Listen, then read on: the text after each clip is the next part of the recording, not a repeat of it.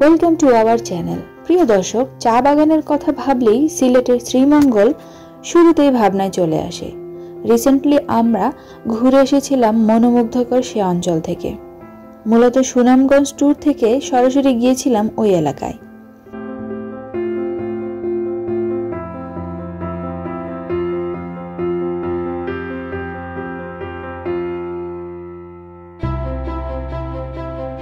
শ্রীমঙ্গল ভ্রমণের শুরুতেই আমাদের নিয়ে যাওয়া হয়েছিল সেখানের অন্যতম বড় চা স্টেটের এক বাংলোয়। উপর থেকে দেখতে যে এত সুন্দর লাগতে পারে বাংলোটি, তা ভাবনাতেও ছিল না। রাজকীয় অভ্যর্থনার পর বাংলোর কর্ণধার আমাদের ঘুরিয়ে দেখিয়েছিলেন অপরূপ শ্রীমঙ্গল।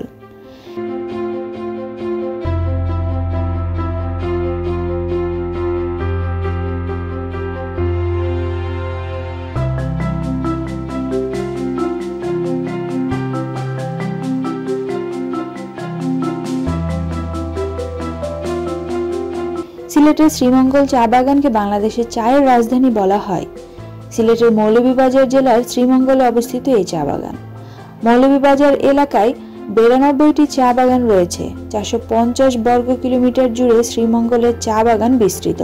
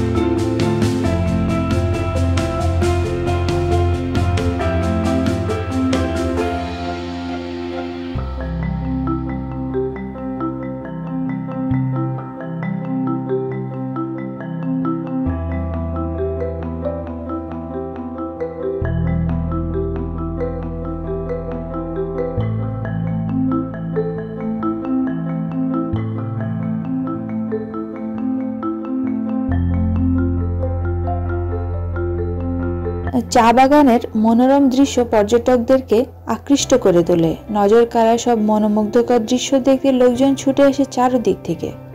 মাইলের পর মাইল জুড়ে চা বাগান দেখে মনে হয় পাহাড়ের ঢালে সবুজ গালিচা।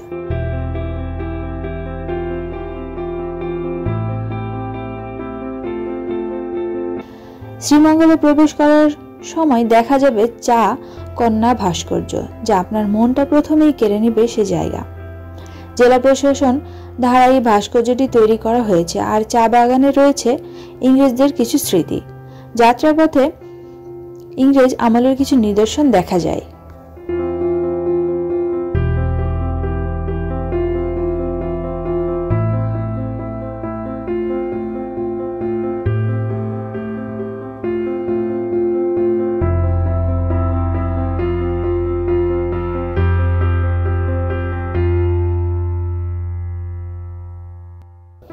এলাকায় ঘুরতে আসলে সাধারণত মে থেকে অক্টোবর মাসে আসা ভালো।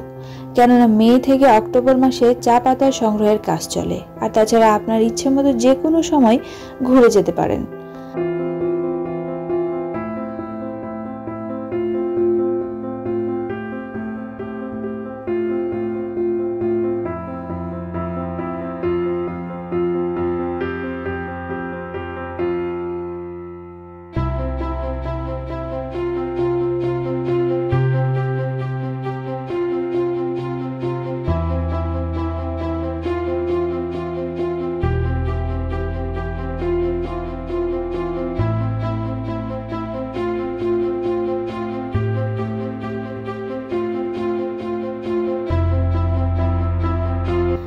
চা বাগান ঘুরে দেখার পর আপনি মৌলভীবাজারের যে কোনো জায়গায় ঘুরে দেখতে পারেন।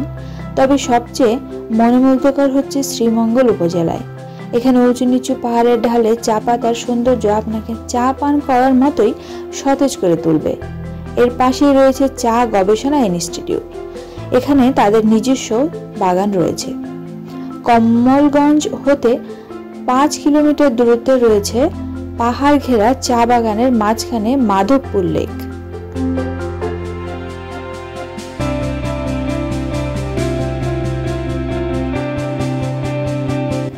ঢাকা থেকে বাসে অথবা ট্রেনে সহজেই শ্রীমঙ্গল যাওয়া যাবে। ট্রেনে ভালো কিছু সার্ভিস রয়েছে।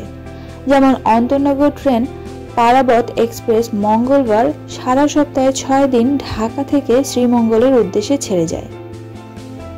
প্রতিদিন দুপুর বারোটায় ছেড়ে যায় জয়ন্তিকা এক্সপ্রেস। কলোনি এক্সপ্রেস বিকাল তিনটায় যাত্রা শুরু করে। এছাড়া আরও কিছু ট্রেন রয়েছে যেগুলো সাপ্তাহিক ছুটি বাদে প্রতিদিন ঢাকা থেকে শ্রীমঙ্গলের উদ্দেশ্যে ছুটে যায়।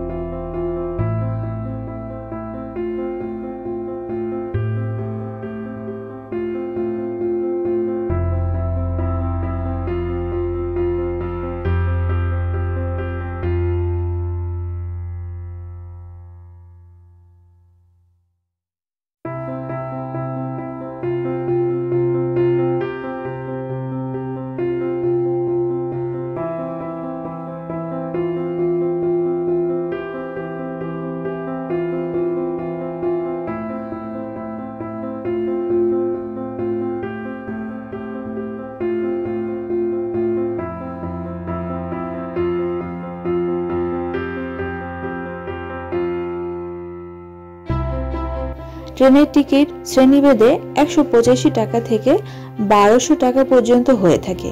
এছাড়া ঢাকা থেকে সরাসরি শ্রীমঙ্গলের বাস পাওয়া যায়।